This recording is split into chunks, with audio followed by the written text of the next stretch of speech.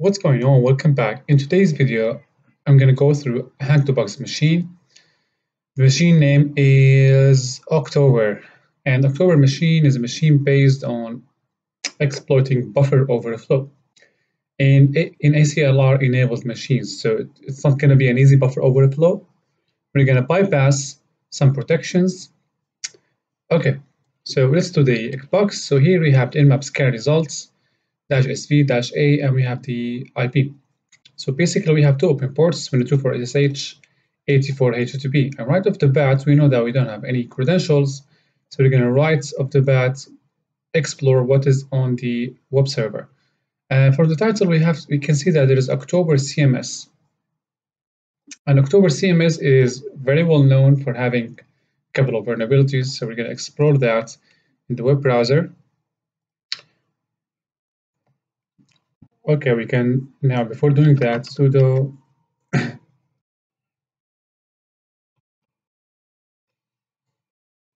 well done. Okay.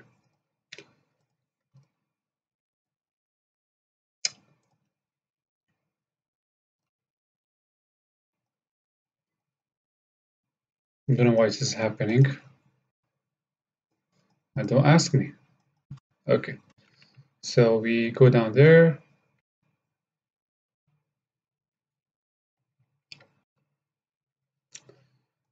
Of course, the IP 10, 10, 10, 16. All right. October HTTP. Hmm. Now,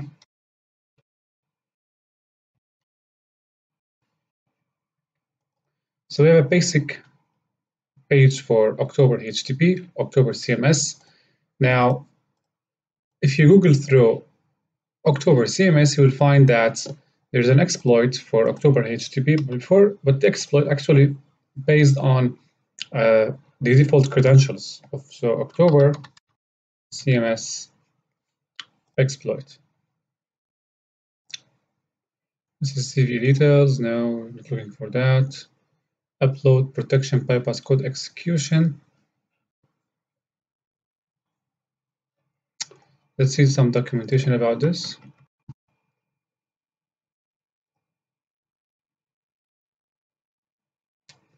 So we go to docs. What we're looking for, we're looking for the admin page. Admin page.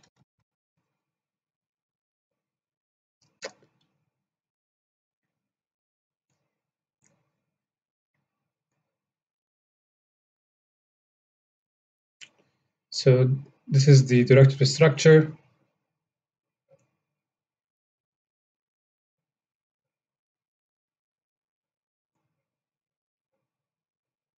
Log default posts.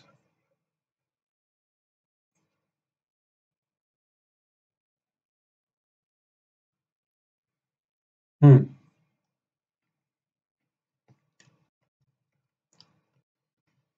Let's look for the admin page somewhere else. Seeing this admin page. Backend.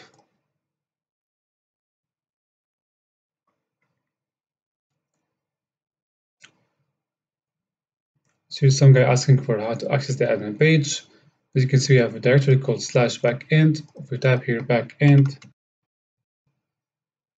and we are redirected to the administration area. Now the default username and password works in this scenario, so they are admin admin. Login. And this is the first security misconfiguration, leaving your blog with admin with default credentials. Now what's next here uh, October CMS exploitation is very simple and basic. All we have to do is to upload a reverse shell. So you go to media and we see here something, maybe previous people who has done have done the machine has uploaded that. So we can delete this. Uh, delete. As you can see, it is labeled as BSP5, so we're to find out why. All right, so we can do here, we can just construct a basic uh, PHP file. Okay, so we can do, go back now, open your terminal, October HTTP dot PHP5. Now why PHP5? Because there is a filter that looks for the extension of every uploaded file. Uh, and the one that worked is PHP5. So we try with PHP5, PHP7, PHP, until one works.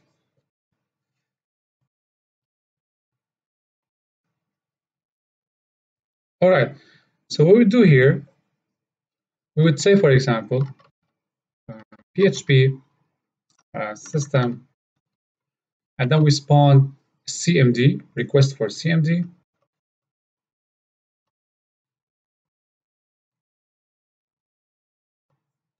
We're going to use this parameter when we want to execute commands on the system. Okay. Nope. Okay, that's right. Now we have this file here, so we upload that directly. Upload. Mm. Hmm. Okay, well, what we do now? We would navigate to this file. So in order to do that, we have to find where, as you can see, a public URL. Let's click here. As you can see, we have accessed the uploaded file. Now, the next thing is we use the parameter to pass, pass commands to the system. So, for example, it. As you can see, the command has been executed. So we have also file upload vulnerability. Okay, there is no checks on the uploaded files. And anyone can upload whatever they want. Basically, the upload of files such, such as PHP, Python should be restricted only to the administration panel or the people who manage the site. Okay, so since we have here um, the ability to pass command on the system, we just get back to our console and we run sudo rlwrap nc.lpp 4545. So we have a listener running now.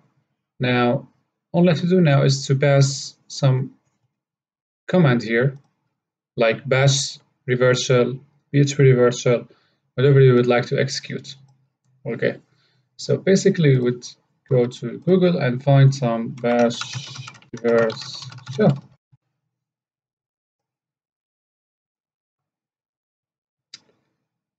So you can use bash, you can use Perl, PHP.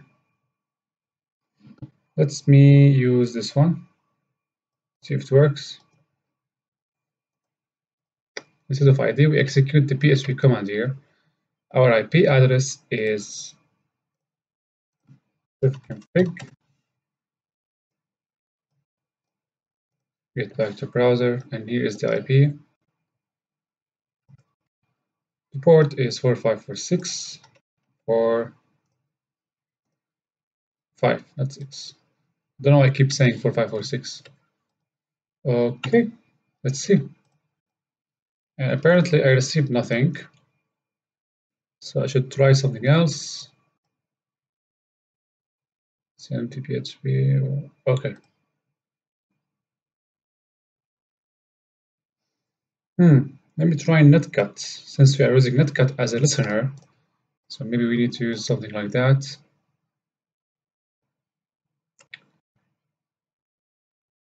And the IP 10.14.2.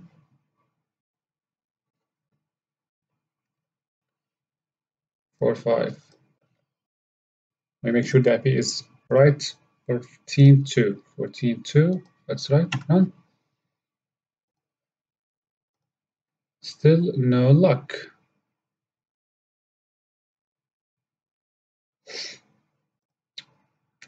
Let's see why this is not running.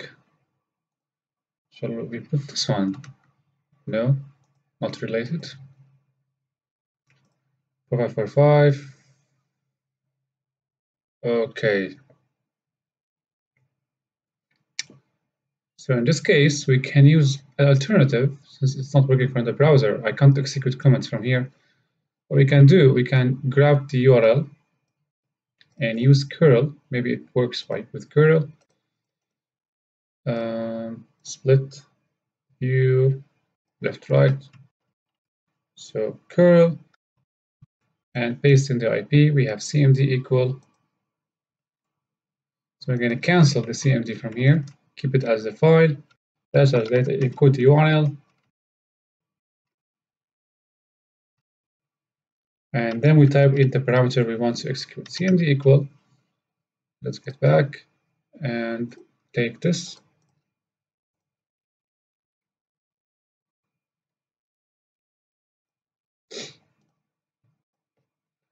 We close the double quote replace the values with our own 10 10 10 14 2 show me oh so it works from curl. Okay.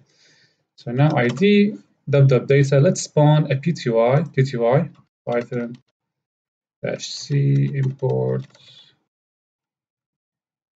I can't write import. PTY, PTY spawn.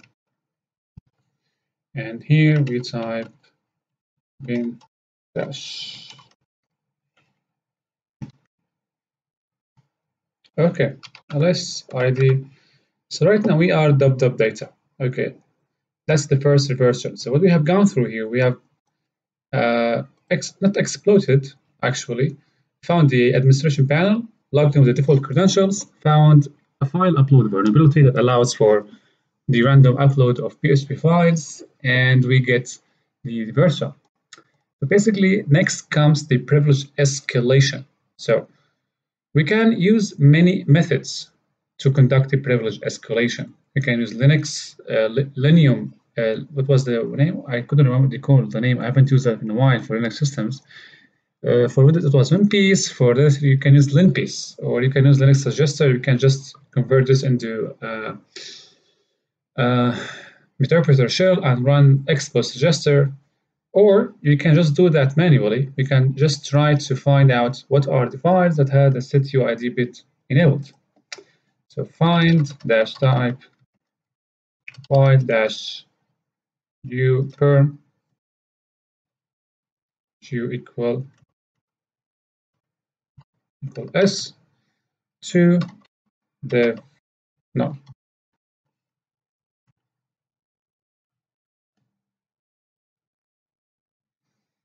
Hmm.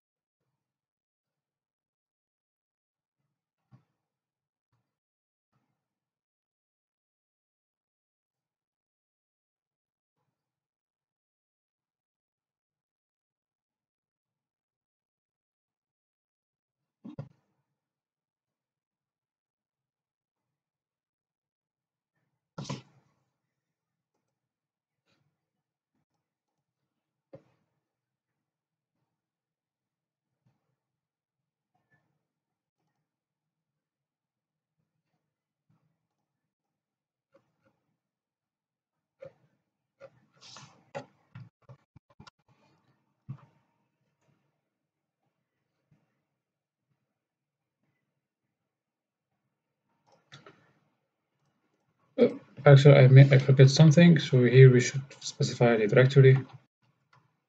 Yes, permission denied. No. Okay. So if you go over the output here, we can see there is an interesting uh, one, overflow. And it is suggesting that we should try buffer overflow on this binary. Okay. Okay, that's great.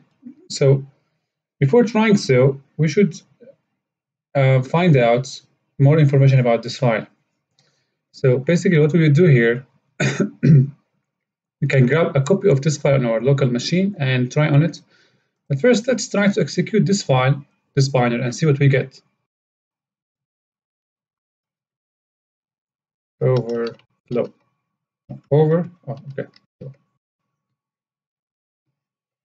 Shall we specify the full path?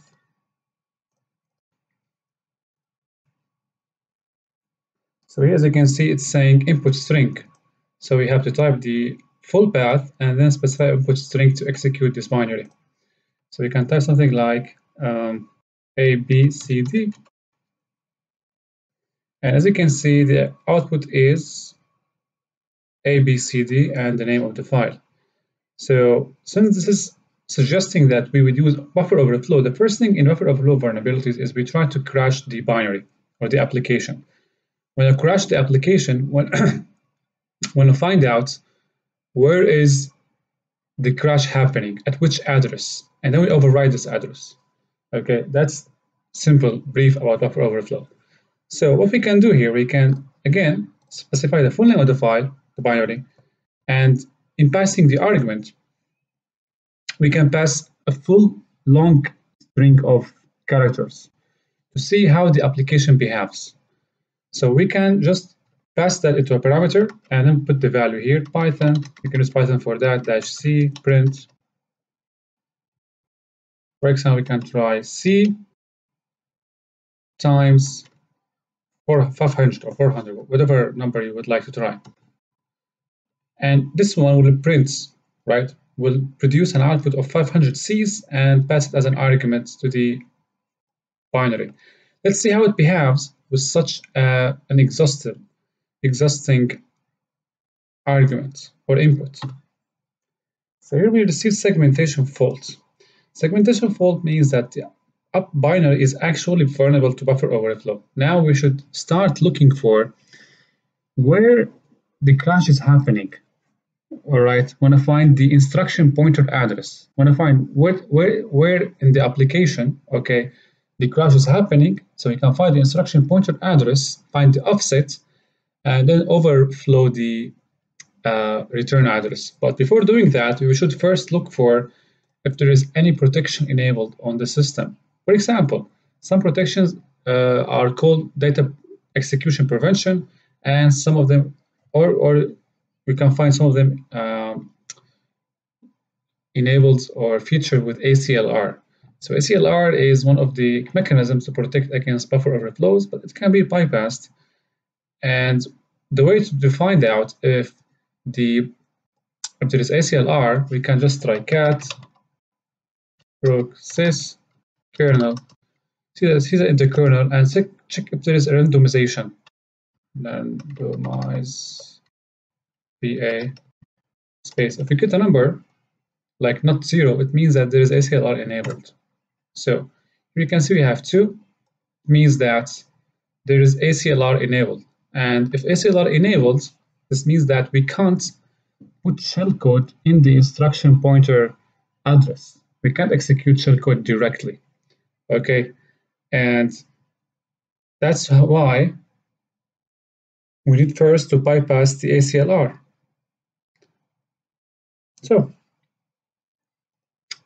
what we can do here we can also check with tool called LDD okay and to find the address or the base address of LIBC so basically since you have ACLR enabled the primary mechanism of exploiting this app or this binary is by using the technique return to LIBC address. Returning to LIBC address means that um, we're gonna, instead of planting a shellcode in the return address of the binary, we're gonna plant the return address or plant the address of a system function, okay, the address of a system function from the LIBC. So to prove or to make sure that we actually have ACLR enabled, one way to do that is to type LDD, use LDD and put the, pa the path of the uh, binary in testing, local bin overflow, and we see the LIBC.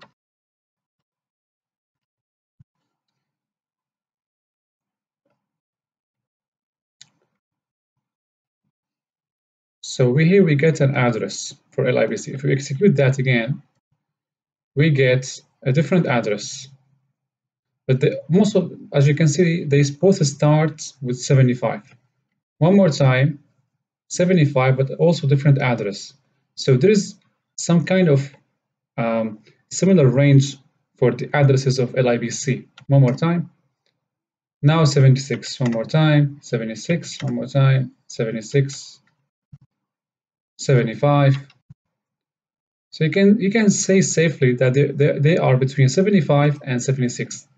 So all of this to say that we have ACLR and protection enabled on the binary. While we can't just generate a shellcode and put it in the instruction pointer address.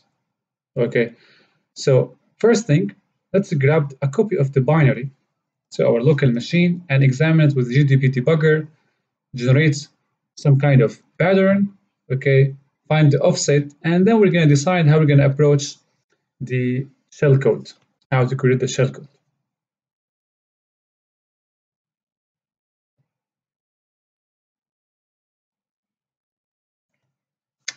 So what we can do now, we can split this more,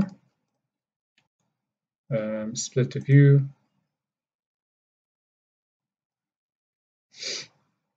and up here.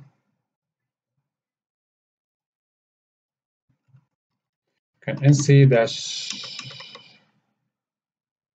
LVP, let's say 4546, and we're gonna receive the file. So we're to name it overflow.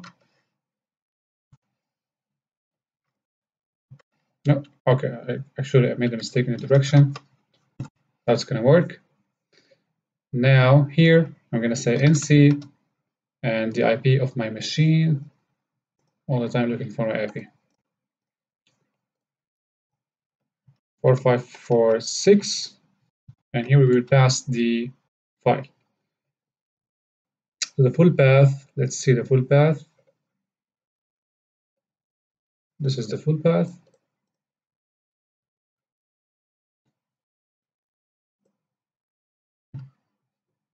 Okay. So we receive the file. Sec. Specify the format to be CLI format equals CLI dash dash file equal overflow all right so here we have it so looking over the properties of the file, we can see that NX enabled right here. NX enabled, okay, when you see that on the binary, it means that we can't run shellcode from the stack of the binary. Just like when ACLR is enabled, we can't just run shellcode on the instruction pointer. Here we can't run shellcode from the stack. So this is to prove that we have some protections on the file. Okay, that's fine. We can just look at that later. Let's now generate a pattern, okay, to crash the application, and then we find the offset at which the or at which whose address is uh, the crash is happening. So we can clear, and we can launch now GDP. GDP, I have it. Okay, GDP dash Q and over overflow. So I have PTA loaded You can just do that from the internet. You can go to GitHub and load PDA to integrate it with the GTP. I don't need to cover that, but I'm going to be helpful and show you how to do it. So basically, we there's a URL here. You can go directly and follow the instructions. All I have to do is to install it. This, this, this, and done. Okay, so now let's create a pattern, okay, and see where on the stack, okay, the crash is happening. So we can just type pattern, create, um, let's say 600 or 5, stick it to 5.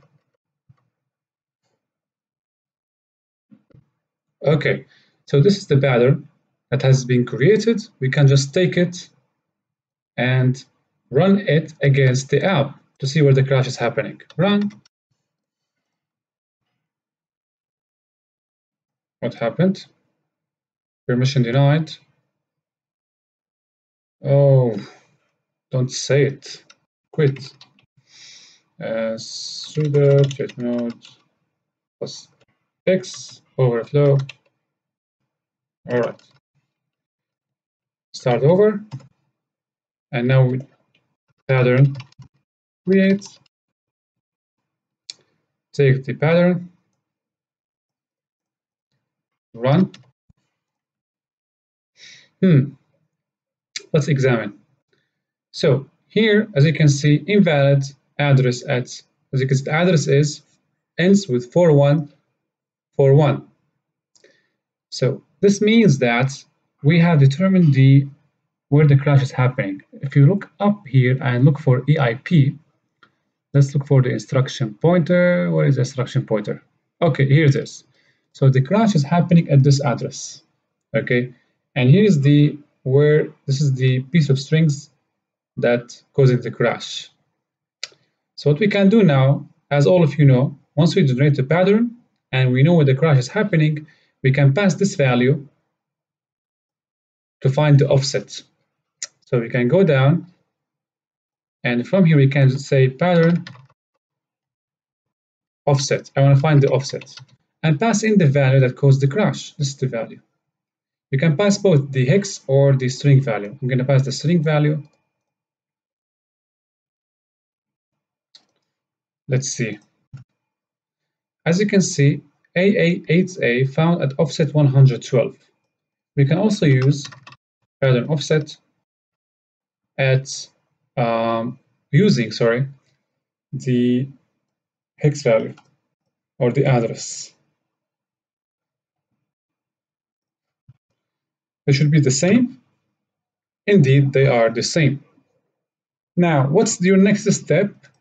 Your next step is to overwrite the instruction pointer or overwrite this address with the desired string. Since we already know that there is ACLR protection enabled, NX enabled, we can't write shellcode, but we just, we just want to know how, where is the address at which our new strings will be written. So what we can do, we can say run um, Python, we can use Python. Since Python is integrated with PIDA, we can run Python strings inside GDB. Instead of going to MSF uh, pattern create, MSF pattern offset, you can do that all from one place. Let's see, and then we type print. Oh, I think I'm mistaken. No, okay, print. Let's see, what should we print here? Let's say A times, what's the offset here?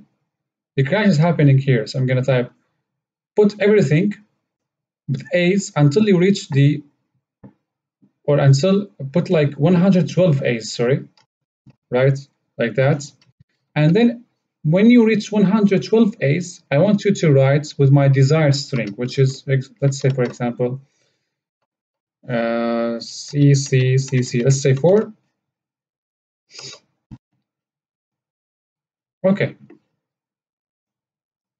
that's it. And we end this with, and we need to put this here as well. Remove the single quote. Now what happened here, I just started with 112A, okay?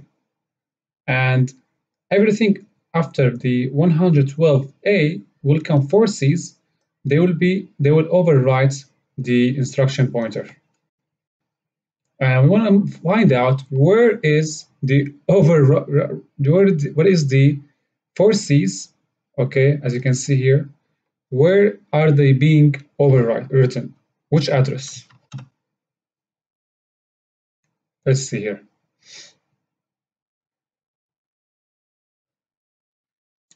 Stop. As you can see this is the address. 43 434343 here where the C's have been written. Look here, right? Now, in a normal scenario, we would replace the C's with a shellcode, but this is not possible. We have ACLR, have NX enabled. You see, very simple. We just determined the um, where the crash is happening, right? And then we supplied the characters required for the crash to happen, 112 characters, everything after these characters will come our own desired string in the instruction pointer. And if, it, if this was a shellcode, it would have been executed the next instruction of in the instruction pointer here, this address. All right, now here comes the hard part. We want to find out how to create a reversal, how to turn this. Instead of C's, I want something to turn into reversal, to turn into um, shellcode my desired shellcode. So the only way to do that is to use a method called return to LIPC. So as we can see, we have determined the base addresses of LIPC, and we see that every time they change. So what we can do here from the library, we can select a function and execute that function. Find the address of that function and execute it here. We're going to use the library. Okay, a function from that library, find the address of that function. In this case, it's going to be system exit bin bash. With that address, we're going to override this and it's going to work. So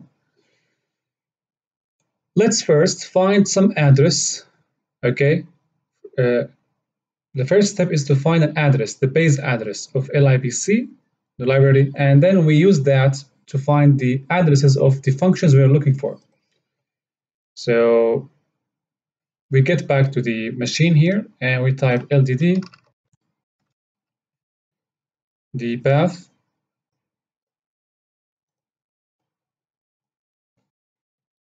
and we grab LIPC.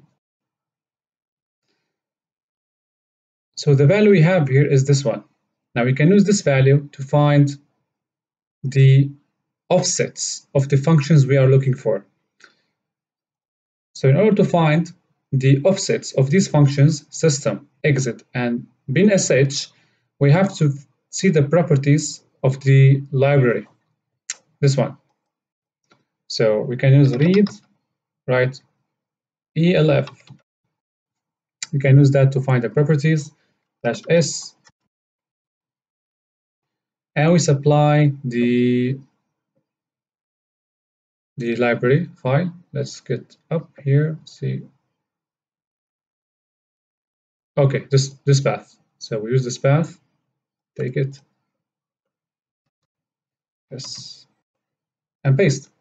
Right. Now the next step is we grab the offsets of the functions we're looking for. We can use these functions or the offsets to create their addresses.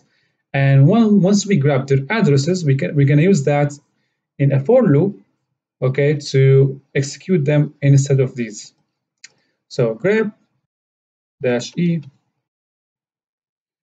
And here we define, let's say the function, first function is system. System at something dash e, also grab exit Uh, let's leave, and lastly, we have to grab also the offset of binsh. We can leave that uh, at the end, so hit enter. So we can see for the exit function and system function that are required to complete the process, there are the offset 60 and 10. Okay, now how to calculate their addresses? Going to multiply these values with this address to find their addresses. What we need here is we need the addresses of these functions at the library so we can use them here. Okay. These addresses can be found by multiplying the offset with this with the base address of the library. Lastly, we can find the address of binsh. So we can use strings dash a dash t x and we put the target target path, which is a library, of course. Grep um, bin, let's say sh. So here it is. Great. Now, what's going to happen now? Let me grab a text editor and show you how the process will be uh, proceeded with. So let me get back to my machine in another terminal. Okay, so sudo nano um, lib address. Hmm. So first, let's find the address of bin sh. How we can calculate this? Let's get back, show you how we do this. So we take, actually it is addition, not multiplication. I have made a mistake. So we take the base address, this one, and we say plus now binsh, this is the offset. Get back. And don't forget to add 0x. Now, next one is system. system will be equal, We can repeat the same, equal to, we have the base address of the library plus the offset of the system function, which is here.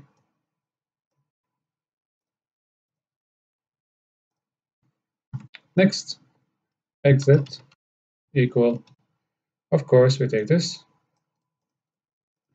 and we sum it to the offset of exit. Now, what is the resultant value? Equal, oh, equal.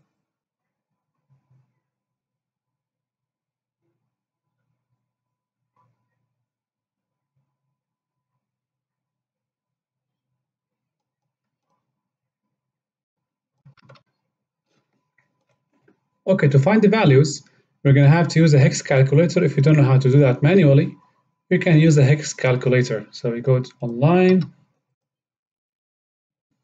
hex calculator.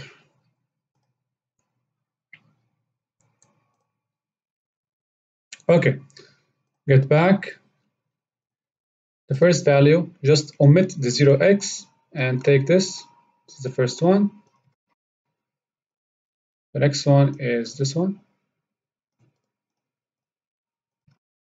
Calculate. And this is the resultant value. So here, 0x, and this is the address of PNSH, 0x, and here also we have x, not to miss that one. So we're going to keep B76, this is the base address, we use that all the time. I'm going to copy that only uh, actually here just a second let me get back. Three zeros. All right. Calculate. And this is the resultant value.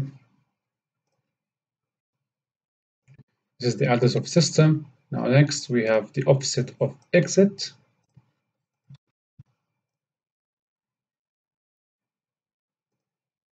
Oh, okay.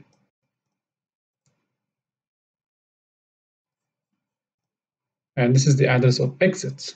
Great. No need anymore. Okay. Now comes the exploit. Let's save that and get back here. Now, normally if there is no ACLR enabled, our approach would be different. So if there is no ACLR enabled, we would have just exploit that this way. You would type the full path, or let me grab the full path, which is right here, execute the app. Hmm. Then, of course, as we did earlier, when we tested, when we first tested the binary, we passed the parameter value, the argument value as a as a as you can see here. And using python dash c print. Okay here it comes. So what is the formula for that? So first let's get back to the hex calculator. I said we don't need it but actually we need it. Calculator. So um, a no. We type B. All right. Just wanted to make sure that the values of these are not incorrect. Okay. So what is the formula for that? We have to do it this way. Let me get back to the editor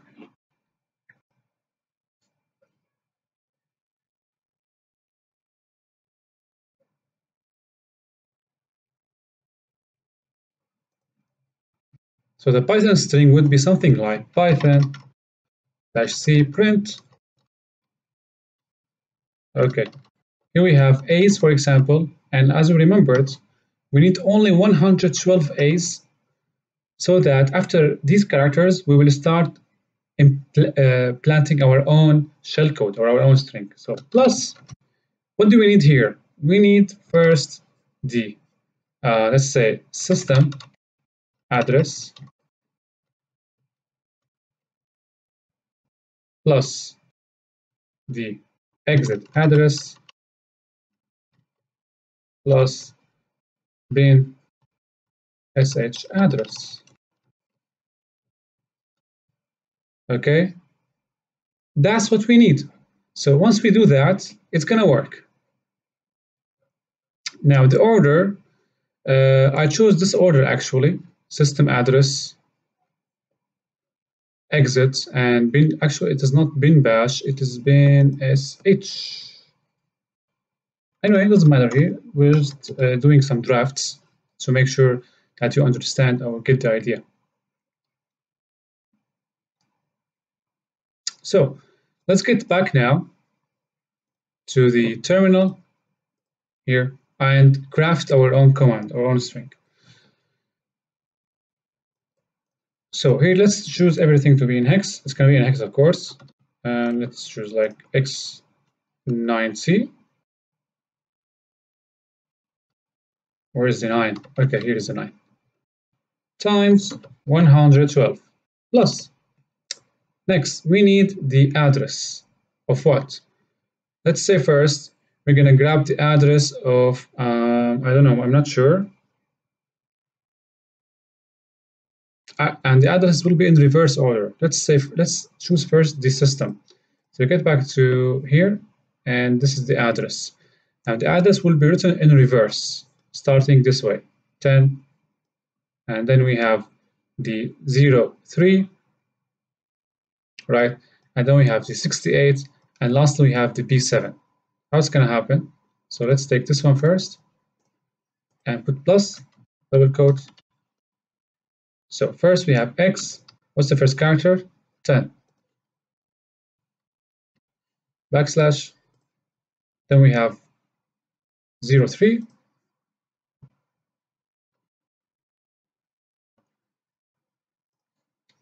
You have to be very careful with these.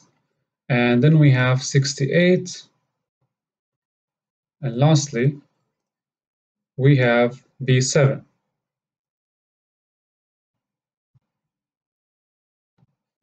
Double quote. That's for the system. Next, we put plus, and we pass to the exit function.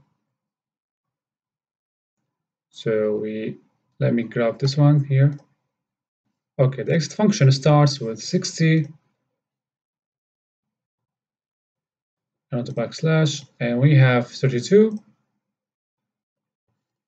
backslash 67 B7.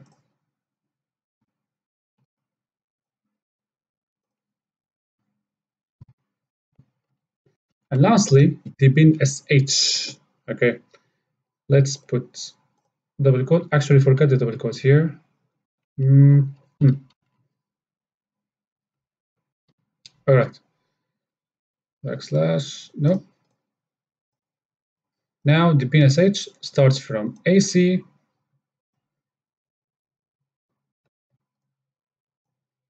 then to B, B2, actually it is uh, B2, right? No, get back. The actual string is B. I am confused. AC, and then we have 2B. X2B Now we have 7a, x7a. Lastly, we have b7.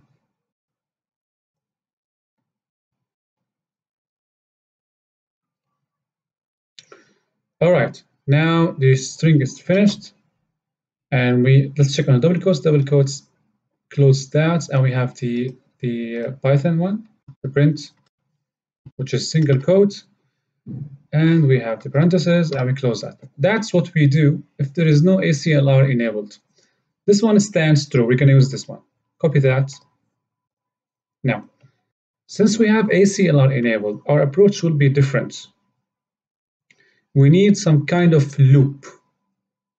We want to guess the correct address. We don't know. We don't know actually what is the address, right? Since the libc library address here changes every time, Hence, we can't, this one will change all the time, okay? So this one, as you can see, LIBC changes every time. So we now get into a for loop or while loop, let's say. So we can type while true true, 2. What we will do here, user uh, bin overflow. Next, passing the parameter and the same comment. Oh, no, no, no, no. That's not what we meant.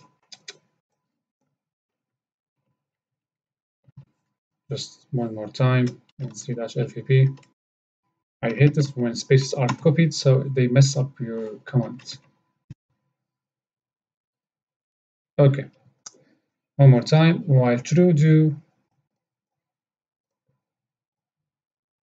user and we actually let's take this.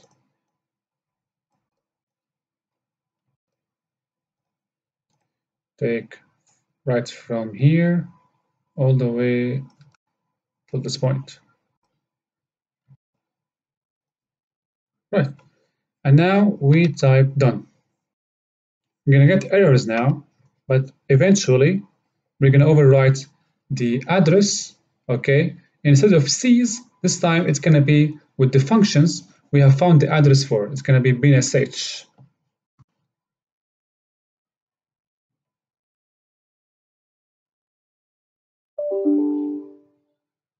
So, so far we haven't grabbed any.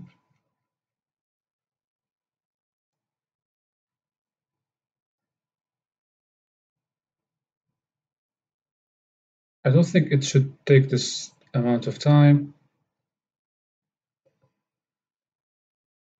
Bin overflow not found. Oh, wait. Oh.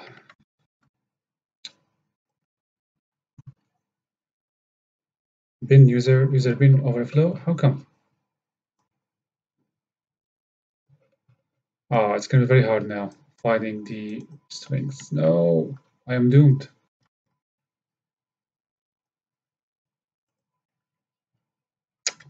Oh, this is Re this really sucks actually now. One mistake. Oh my god.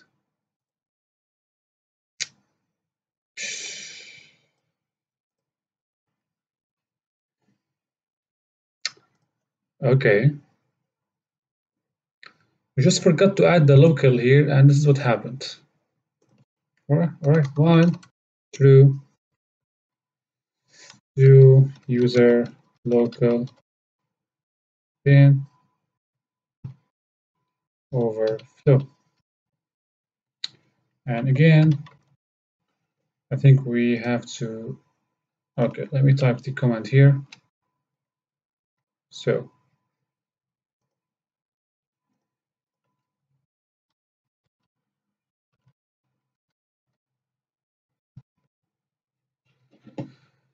oh.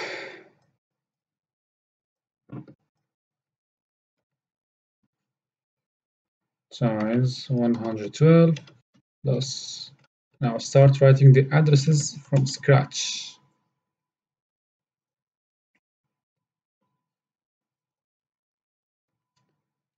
zero three sixty eight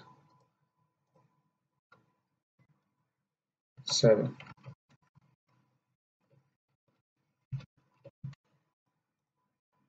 And then we have the um, what was the order? The system right? And then we use the exit function. I remember. Um, okay let's use the exit one. So exit x60 x32 x67 B7.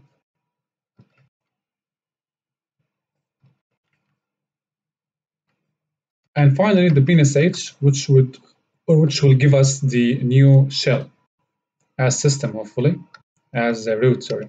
Same actually.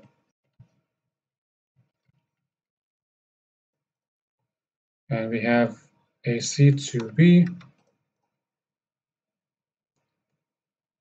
um, 7A, B7.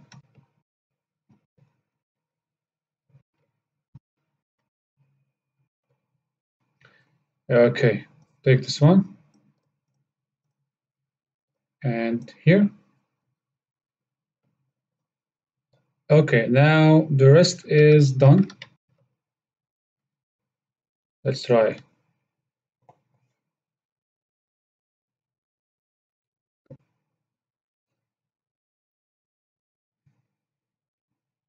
Aborted core dump. Eventually we should get revert shell. We should get some new shell here. Breakpoint.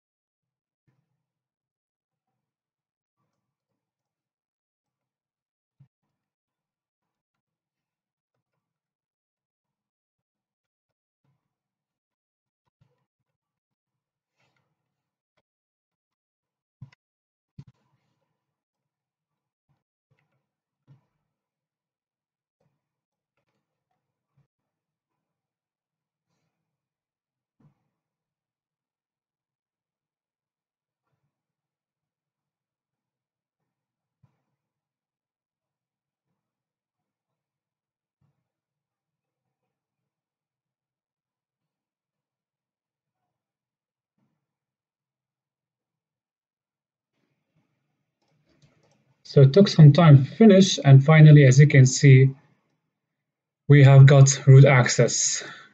Egroups root euid root. Now the next thing is to find the um, flag. Let's so we want to go find the flag cd root. Ls get root.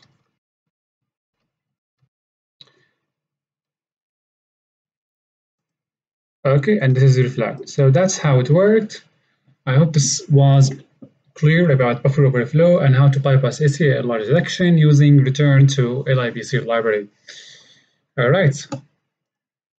Thanks for watching.